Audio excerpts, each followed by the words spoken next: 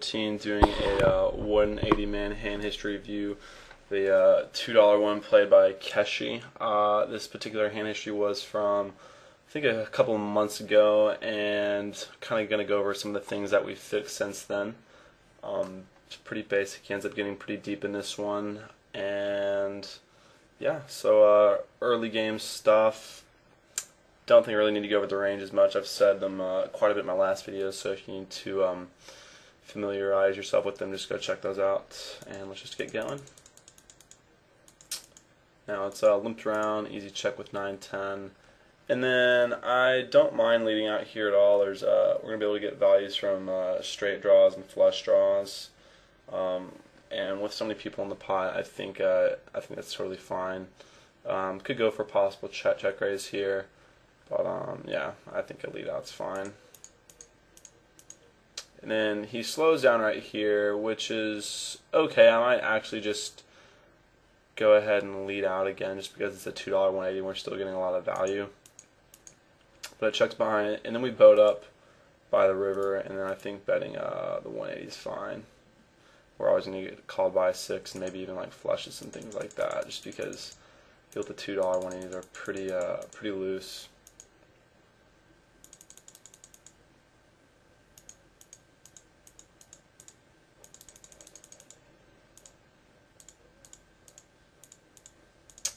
Alright, pick up jacks with about 15 big blinds. Um, usually around the 5100 level, that's when things pick up. That might not totally get to you know push up in like STTs or even 18 man sometimes, but be with the 180s and uh, kind of MTTs in general start to shove a bit deeper with around 15 to 20 big blinds. So um, yeah, pick up jacks, easy snap call.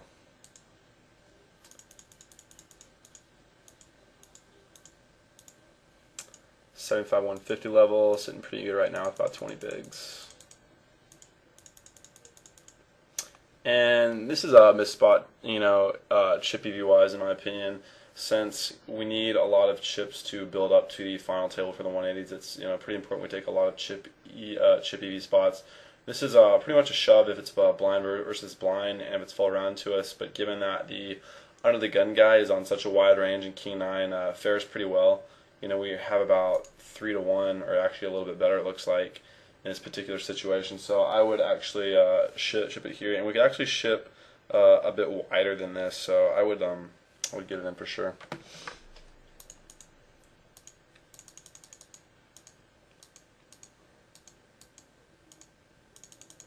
And right here, if it uh, gets shoved to us, any like even from you know the button, definitely the small blind. I'm I'm always going to get in right here. Uh, King Queen's just too good to be passed up. But um, I noticed that we get a couple walks from this player right here, so that's something to keep in mind. And King 9 even versus the limper is still going to be a fold. We don't have a whole lot of fold equity on this particular um, guy right here. Whenever he limps with such a short stack, usually people limping with short stacks are uh, more apt to call a shove whenever we uh, shove on them.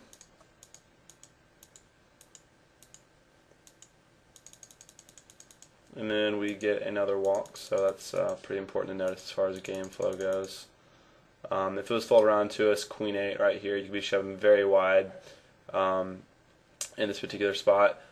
With some things I would notice is I'm going to muck off a certain portion of my range if it's full around to us uh, because of the small uh, because of the small blind.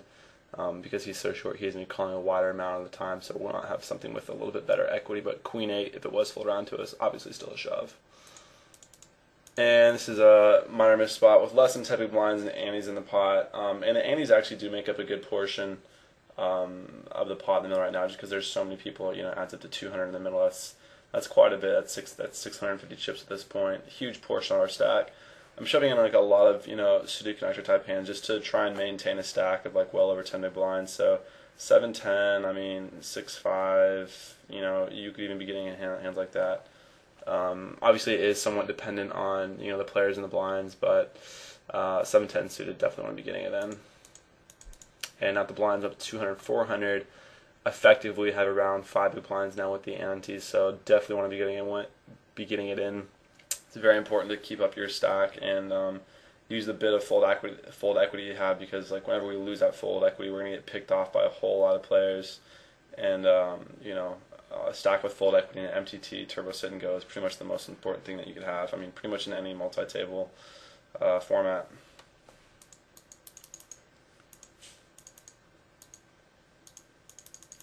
King 10 the big blind, and to this overbet shove, um, King 10's not faring too well versus that range that we usually see, so definitely like a fold. Standard shove BVB. You could pretty much be on any two cards there, and standard shove. Pocket fours right in here with less than 10 big blind. Uh, my range is pretty much, as far as pairs go, any pair, so good shove and we hold. It's this is a this is a miss spot right here. Um, villain with five big blinds is going to be on a pretty wide range, and you know eights is easily within the top ten percent of hands, and versus what is probably around thirty percent, we're actually doing pretty good equity wise. Um, you know, even with all this dead money in the pot. So even though we are in, in kind of a weird position, there's actually not a whole lot of stacks that you come that could hurt us after this, you know, we're still going to be left with 10 big blinds, you know, a good portion of, of the time. Unless this guy just wakes up with a hand. And uh, he has king queen. Ace jack. I like the raise. Um, I definitely like the raise because we don't necessarily want to be calling shoves from you know this 9k stack or this 9k stack right here, but we're still able to pick up a lot of chips from like the 2k stacks and uh, these other micro stacks down here. You know, ace jack isn't the best hand out of position, but with a versus a lot of small effective stack sizes, you know, it's going to play very well, especially the twos, because we're pretty much just raising here for pure value um, versus those two dollar guys. And um, just knowing the players at the twos, you know, a lot of times they're never really going to reship with a hand that beats us or that doesn't beat beat us. Um, so it's just kind of good to uh, go for it right there. Ace Queen versus the Rays, small effective stack size, definitely going to be getting it in and actually back here it's you know since we're pretty much getting three three to one whenever he has the rest of his chips in like I'm calling you know with almost any two cards here. We don't need ace queen really. We could you know we could be snapping off really wide here. And since our stack is well over 10 big blinds and it's not going to hurt us a good amount I mean like 6-5 off 3-4 suited things like that I'm going to go ahead and call.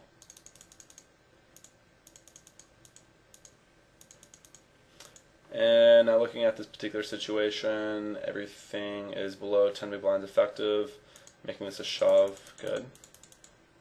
And nice flip there for sure.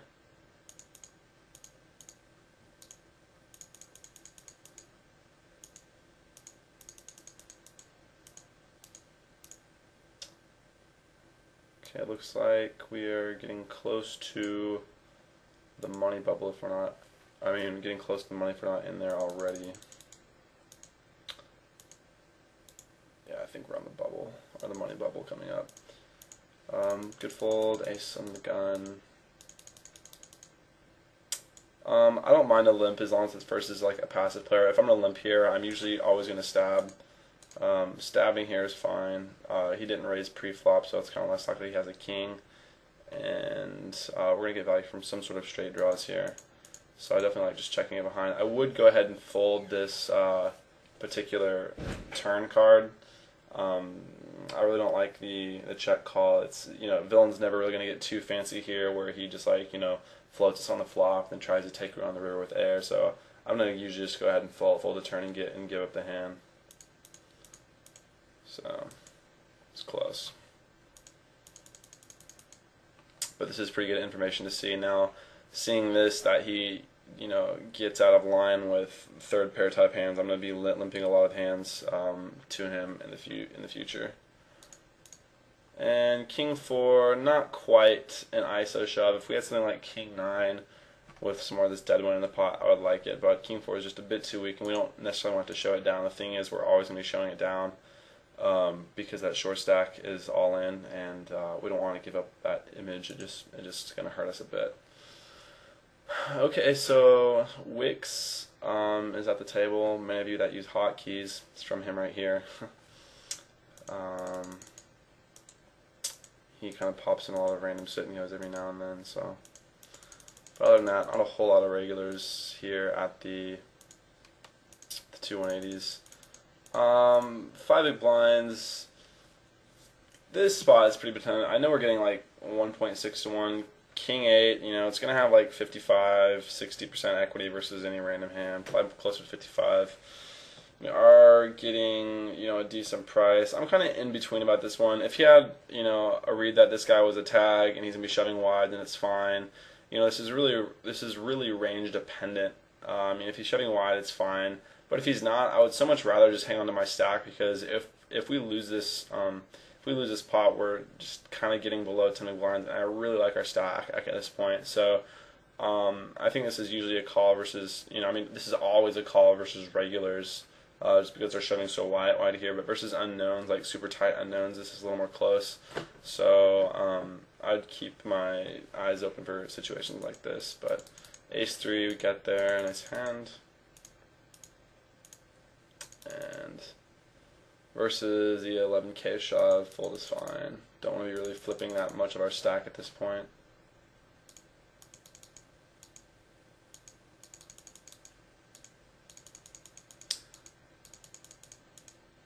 and ace eight. All right, let's see. Um, yeah, a shove is fine here.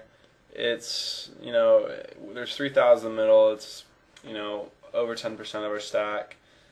Got the antes in there. Um, if the button is on the loose passive side, a shove is okay. I would actually much rather prefer to uh, just raise it up up here. I think it's a more prudent play if we have to get um, away from it, we're still going to have above 10, 10 big blinds.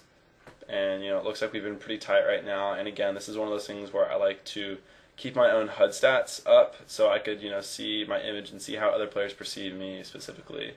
And, you know, that way we could just exploit them accordingly. If we've been really tight, obviously we could open our range a little bit more. If we've been super loose, we want to be doing things more for value. But uh, so shove here is a little spewy. I would just, you know, go ahead and raise it up there. Overall, not bad though. And let's see what we did here. It looks like this guy min raises it right here, and we're getting a pretty good price, five to one. I would probably go ahead and call it as well. Our stack's okay at this point, um, but yeah, I have to get away from it. So careful there. ace five, 10 bigs, easy shove. And our range on here is going to be, you know, pretty much around 80, percent or though. We have 10 big blinds. I mean, we are getting a little bit closer to uh, dollar EV now. We are in dollar EV, um, actually, but the payout structure of the 180s, you know, it's super flat at, at the beginning. Like the um, the top 18 get paid, but the first nine are getting paid the exact same. Um, so it's really important to be really wide and try and get a stack for the final table because uh, the way the 180s are, are structured, it's pretty much all about getting those uh, those first payout spots. And King 9, I like it.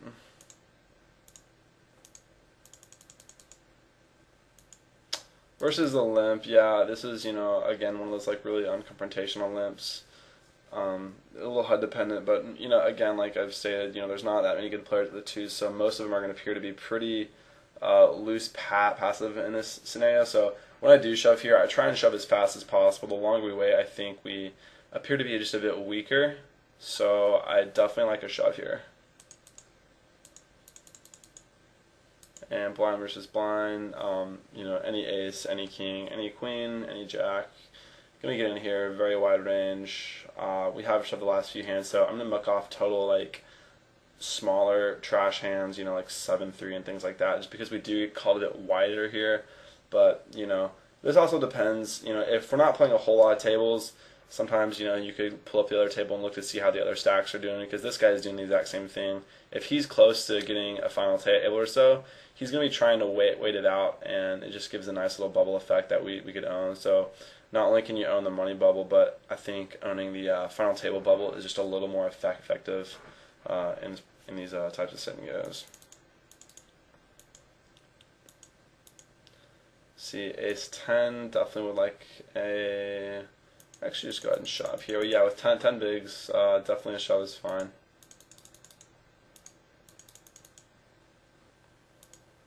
Um, this is probably a misclick. Um, seeing him shove the ace deuce, don't think he's really folding the uh, a7 there on purpose. So let's chalk that one up to a misclick. And fives, yep. Don't really want to do any raising here with this guy right here. Uh, 10 big blinds, easy ship with any pair. And yeah, a7 is not the type of hand you want to be calling with. We're either slightly ahead or dominated. So, and you know, this player has been sort of passive, done some limping blind versus blind. So we usually see a bit of a stronger holding here. Um, I'm gonna want like you know at least around ace 10 or something like that to be making a call like this. Okay, so from the looks of things, we are at the final table now. There's one big stack, a couple mid stacks around the short stacks around here. Um, so not too bad of a spot. We have a lot of fold equity on these stacks right here, and as I stated in my last 180 video, uh, the tendencies of a lot of players are going to be um, they're just too tight actually at the um, the five through nine spots. When those are the spots that you need to be getting wide on the final table because the payout structure is so steep, or it's so steep when you get to the one, two, three, four spots, but it's rather flat, you know, going into it. So you actually need to be shoving a lot wider than um, some other people do. So it's pretty important to, you know, play around with whiz a little bit and see exactly um, the spots that you need to be taking and try and figure out where you should be getting your ed uh, your edges. So yeah, some things to keep in mind.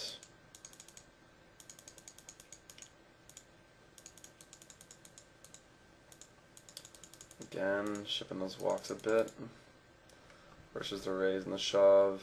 You know, I mean, definitely uh, easy fold. And jacks, yeah, I don't like to do anything fancy with uh, below 10 big blind, so it's a pretty standard shove. And right here, uh, looks like villain has 11k. He doesn't even have three three big blinds, so Queen Jack's playing very well uh, versus whatever range that he's shoving, and we're getting almost like we're almost getting three to one. We're getting at least two, two point five, five to one here, and yeah, so this is definitely a snap call. I mean, even though like our stack isn't the greatest, but this is just too good of a price to be passing up. I'm definitely calling with a large range here, like probably around seventy percent. I think, um, yeah, so definitely get this in here. Um, yeah, easy shove for sure. Uh, effectively blow 10 blinds. Um, we have so much fold equity on this guy right here. There's no way he's calling us just like insanely light. And 8-5 is going to play well versus the Tyler, calling range. You know, we're not dominated as often, you know, by hands like, you know, ace king if we shove king deuce or something like that. So I'm always going to be shoving my suited connector hands here, blind versus blind. And we get there. And I would just go ahead and shove. Same thing. I mean, looks like we have like more fold equity that way. So yeah, we have to call it off here. And yeah, you say ships.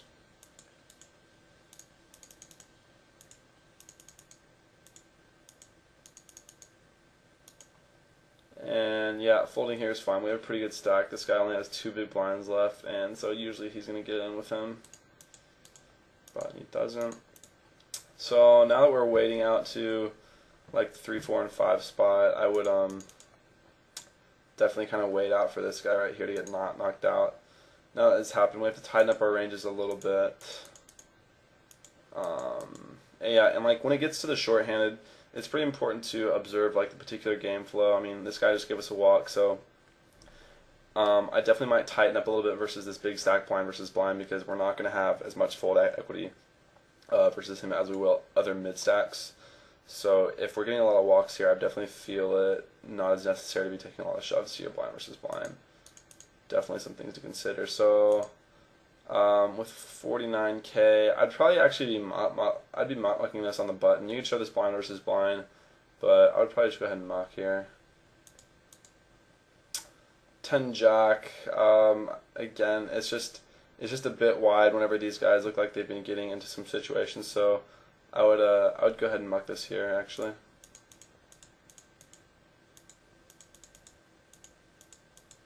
Nine ten. Um, this is a bit better because we're starting to build a chip lead over these three guys. But the thing is, we've been shoving so much, we're starting to lose fold equity. So I actually tone it down here a bit. Um, but they're still folding.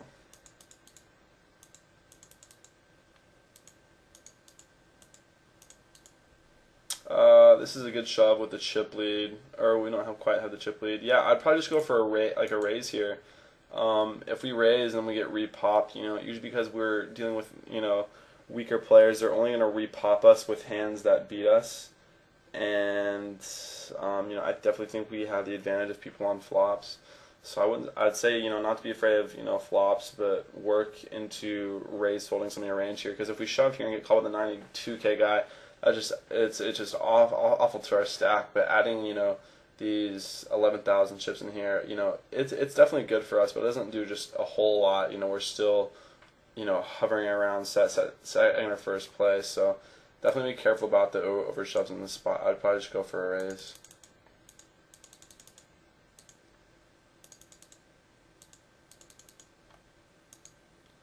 And again, right here, I mean, a shove is fine. I probably would just go for a raise. Eh, I'd probably go ahead and shove in this spot just to try and get the chip lead back and try and establish um, a nice solid, you know, hold over the table. This is definitely too wide. Um, again, you know, dealing with tight calling ranges, you know, King Deuce is almost one of the last things you want to be pushing. I'd so much rather be shoving like a pseudo connector type hand. So um, it is good to be aggressive, but this is just a bit too aggressive. Yeah, so uh, versus, you know, uh, Ace 10, we're fortunate to uh, catch two pair by the river. Little run goods never hurt. Alright. Um, yeah, so this is actually losing a bit of value value here. I think it's um, a bit more plus EV to just try and induce a reship actually. Uh, this is just forcing him to play a little more perfect. If we just like raise here, it could look like we're just trying to mess with his blind, and he could repop us like somewhat light. So I'm gonna look to just like raise and call a shove here.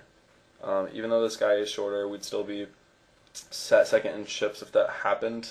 If we lost the pot here, so I'm still to be uh, just raise calling here. This just forces him to fall out so many hands, and in the big scheme of things, like this 9k doesn't help out too much. Um, another alt alternate line, if you don't want to like raise call shove because that feels so gross, um, you can do some experimenting with some limp shoving, and that makes the hand easier to play. Because I mean, if you know if we limp and he shoves, you know obviously we're beat. But if he limp, you know, and he raises, we could just shove and have a pick up a lot of extra chips. I mean, we still have full uh, full equity, so that's totally fine. Um, queen 9, I don't think it's really too necessary. These chips don't do a whole lot to our stack. We're still going to be in first place either way. And then, you know, this guy is calling wider, so we're actually just going to have to show show down the queen 9. And queen 9 plays okay versus 100% of hands, but it's just not the most necessary thing, you know, for image-wise and, and other things. It's uh, I would just tone it down here for sure. Let's see. Big blind at 7k, just min raise. Yeah, I do it. Um, yeah, this is. I, de I definitely like the call here pre. We're just getting too good of odds to fold. And yeah, the donk's fine. I really don't mind the way this hand's played. Um, I think it's fine. Don't really want to check raise. That'd be too much of our stack. This way, we could still get away from it. I think that's fine, actually.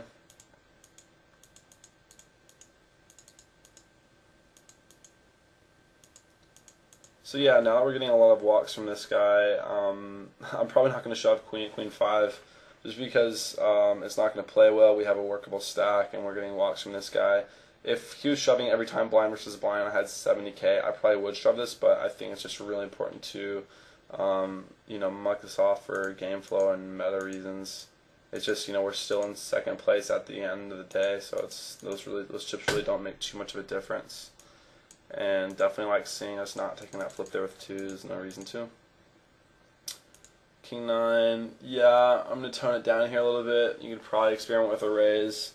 I mean, yeah, at this point, you know, we haven't really raised much, so we don't know how the villains are gonna react. So um, I would give that a, give that a shot, and uh, that way we don't have to risk so much of our stack just for a small portion of chips being over 10 of blinds. And blind versus blind. This is okay. He's pretty much shoving at this point. Has 46, so I mean, yeah, since he's so short, I really can't fold, fold the threes there. Whoop. Standard shove. Yeah, so kind of the opposite. Um, I'd actually be way more inclined to shove the 8 9 with the 50k than shove, you know, an over shove with a King X type hand. Um, it's going to play better, even though we are dealing with a bit more wider calling ranges now. Um, we're just below 10 big blinds now and want to start moving some chips around.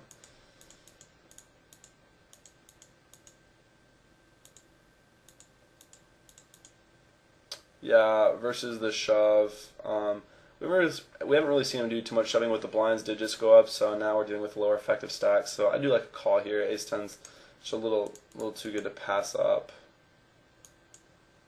And get there. Ship the, ship the straight.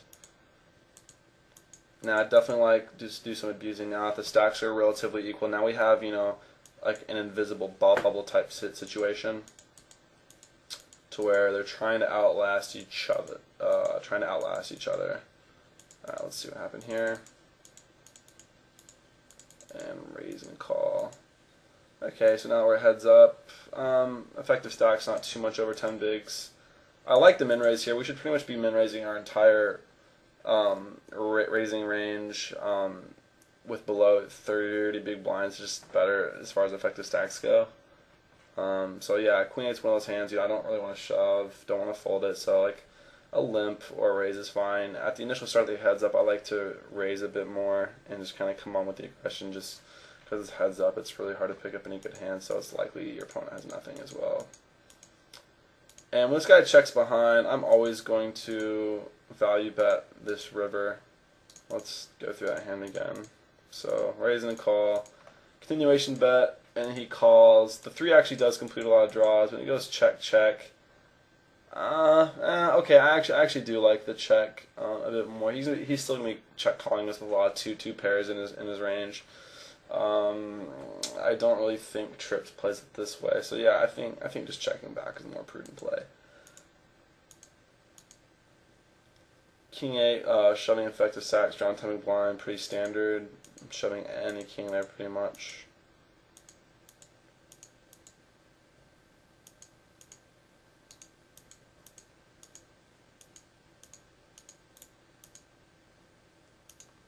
Queen nine's a good shove. And yeah, that's about it. So yeah, not a whole lot of mistakes. This one is pretty well played. I would definitely say to tighten up some of the ranges whenever you know you're short-handed. Um, you know, like those four-handed spots where you have like king nine, and you know get wide when we had that eight nine suited spot. But uh, for the most part, the early part looked good. You know, there's a few shoves in that we need to be picking up on, like the 10 set, uh, the 10-7 suited and the cutoff of less than 10 blinds, uh, things like that. But uh, for all you guys, yeah, I'd say this is a pretty good example on how um, a 180 man should be played. Definitely taking you know a lot of shoves. Um, just got to play well and run uh, run well. Um, you know, as soon as you get deep a few of these, you know, run over some spots and whiz and things like that, and that's really gonna benefit you a lot in understanding the, you know, the final table structure on how these things are played. So yeah, if you guys have any questions about it, feel free to ask me in the forums. Hope you like it. This is Reasons14 for Grinder School.